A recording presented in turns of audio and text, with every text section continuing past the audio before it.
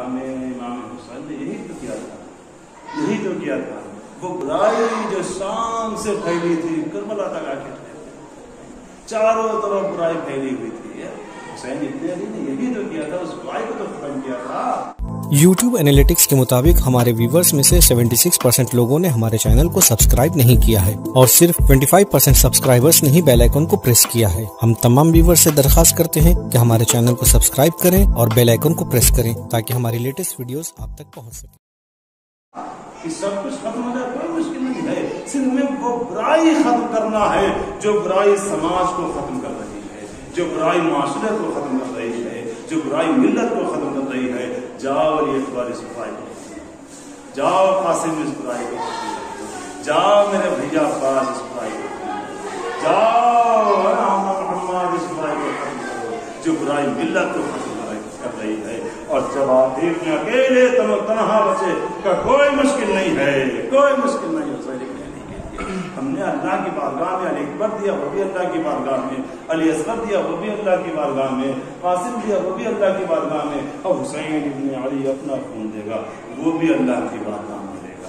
Karbala में हुसैन इब्न अली को करना हलमिन नासिर रहना की सदा में हाय करो जब मेरी मदद को आए। किसकी मदद को आए? हुसैन इब्न अली की जान बचाने के लिए, अपनी जान बचाने के लिए बुला रहे थे कि आओ हुसैन इब्न अली को बचाओ आके आओ हुसैन इब्न अली की जान की हिफाजत करो आके आओ हुसैन इब्न अली जो लड़का आता है घिरे हुए इस तिरसठ साल के बूढ़े इंसान को बचा लो आके तो हुसैन इब्न अली क्या ज़िंदगी माँगता? क्यों अपनी हिफाजत के लिए लोगों से मदद माँगता? जिसने अपना जवान अली अकबर दे दिया, जिसने अपना कासिम दे दिया, जिसने अपना भैया अब्बास दे दिया, जिसने अपना सब कुछ निशावर कर दिया, सब कुछ जिसने अपना लुटा दिया तो वो ज़िंदगी की फरियाद क्यों करेगा? उसके लिए ज़िंदगी अहमियत क्या रखती है? नहीं हर मिन नासिर यंसरना है कोई तुम में से जो हमारी मदद करे, कैसी मदद? जैसी मदद अली अकबर ने की है, जैसी मदद हबीब ने मुजाहिर ने की है, जैसी मदद मुस्लिम ने, अकील ने की है, जैसी मदद सुहैब ने कैद ने की है, जैसी मदद अब्बास ने की है, कौन सी मदद? इस फैलती हुई बुराई को रोकने में हमारी मदद। इस बुराई को खत्म करने में हमारी मदद करो। जिस बुराई को खत्म करने के लिए मैंने अली अकबर का सीना जिस बुराई को खत्म करने के लिए मेरा दो बार शहीद हुआ।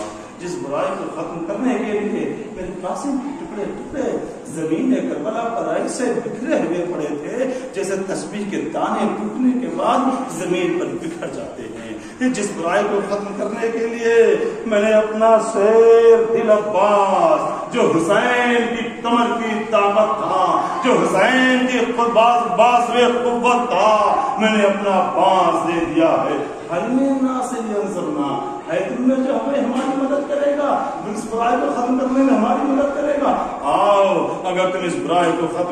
हमारी मदद करने चाहते हो तो आओ हुसैन के साथ। आओ हुसैन के साथ। लेकिन अजीजान ग्राम कदर ये सियाह दिल इंसान, जिनके दिनों पर तारीखी की मोहर लगी हुई थी गुमराहियत की मोहर लगी हुई थी। हुसैन इब्न अली की आवाज़ बुलंद होती रही लेकिन जवाब किसी ने ये नहीं कहा हाँ हुसैन इब्न अली आप सच कह रहे हैं। हम हम आपका साथ देंगे इस बुराई को खत्म करने में ये जो बुराई फैली हुई है ये जो सर फैला हुआ है हम आपका साथ देंगे। अजीजों तलवारें लेकर तो आ गए लेकिन साथ देने के लिए तीर तो चला दिए, है, लेकिन साथ ना दिया।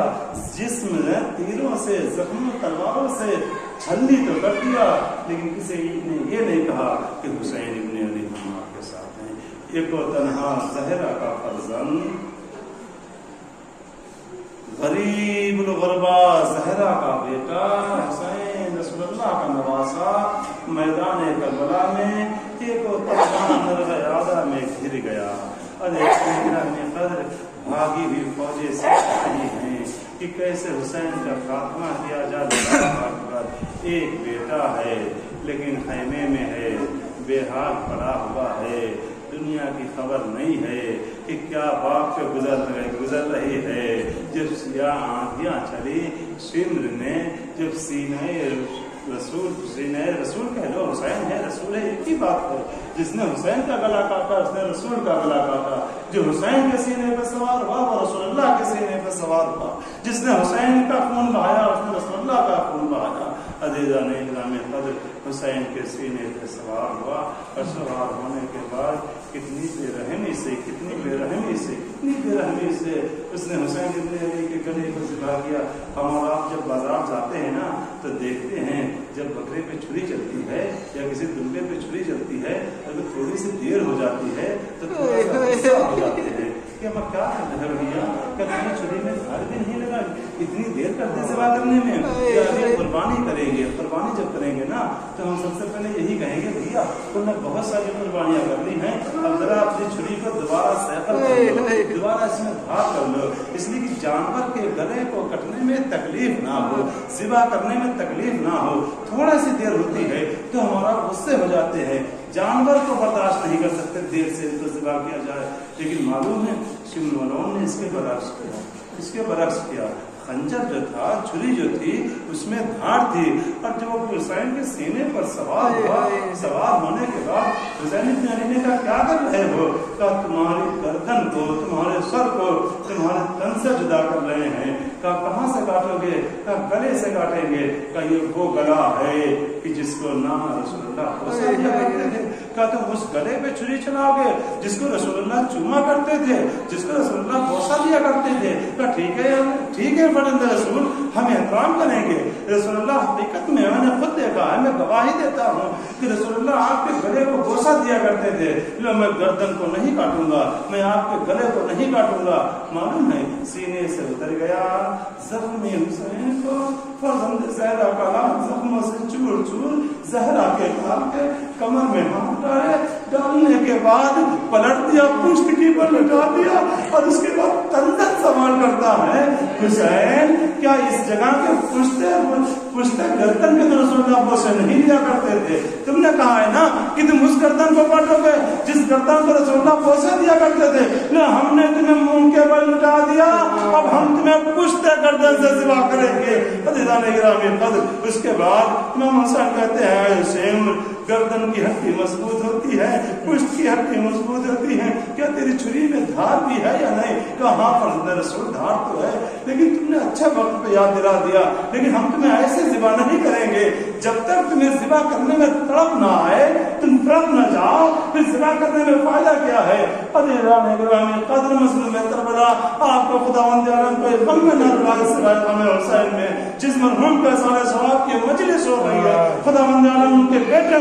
की को करे और मरहूम को जवाब रहमत में जगह नाज फरमाए कि जिनकी बदौलत जिनके की मजलिस की वजह से आज हमारी आँखें नम हो अरे कहा हम इतनी आसानी से सेवा नहीं करेंगे। उस धार खंजर को शीनू ने पत्थर पे मारा, खंजर की धार को उलट दिया। उसके बाद हुसैन इतने अली को सिवा करना शुरू किया। अब आप अंदाज़ा लगाइए, एक मरतबा आवाज़ दी, ए अम्मा! अरे वक्त सिवा लाल